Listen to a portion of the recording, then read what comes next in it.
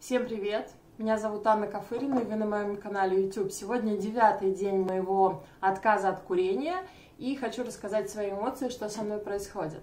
Ну, во-первых, самое главное, то, что на моем первом видео, на седьмом дне отказа от курения, прям меня ввело в панику. Это то, что я набрала поначалу 2,5 килограмма за 6 дней, а учитывая то, что я в состоянии избавления от лишнего жира, для меня это было прям как удар по голове тяжелым молотом, потому что 2,5 килограмма для меня это, ну, примерно месяца полтора-два а, по времени, потому что вес уходит не быстро и прям, ну, тяжело, скажем так, нет такого, что я избавляюсь вот так от него, потому что я а, стараюсь избавляться именно от лишнего жира.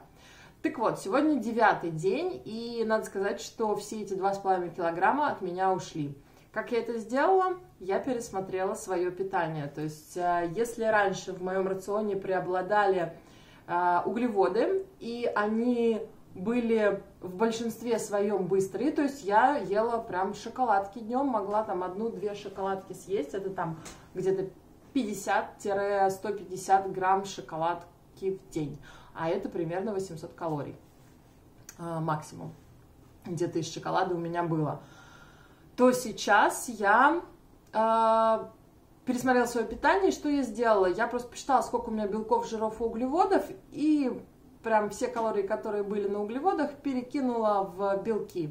То есть у меня на завтрак, э, например, яичница из трех белков одного желтка, либо у меня пожаренный фарш э, с залитый белком, такая вот у меня супер мясная яичница.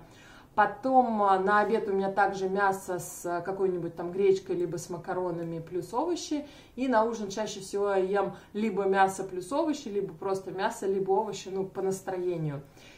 И когда мне в перерывах между завтраком, обедом и ужином хотелось перекусить, я съедала либо яблоко, либо шоколадку. Но чтобы уменьшить количество углеводов, я перешла на, в один прием пищи протеин, а в другой прием пищи либо маленький кусочек шоколадки плюс фрукты, либо вообще овощи. То есть, соответственно, по колоражу 1800-2000 калорий у меня так и осталось, но они ушли в мясо, а в мясе жир и белок. И, соответственно, углеводы ушли, и их стало сильно меньше, и появился белок.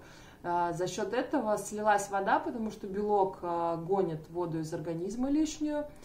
И жир, который у меня откладывался в какие-то моменты за счет того, что а, инсулин от сахара быстро, от быстрых углеводов скачет, он перестал поступать, и, видимо, из-за этого у меня слилась вода, и я начала продолжать а, терять лишний вес. Посмотрим по весам, которые меряют процент жира, процент воды. Они сейчас показывают, что прям сильно процент жира ушел, но мне пока не верится, мне кажется, они что-то подвирают. Ну, посмотрим там на протяжении длительного периода вот это вот именно соотношение жира и соотношение воды и мышц в организме.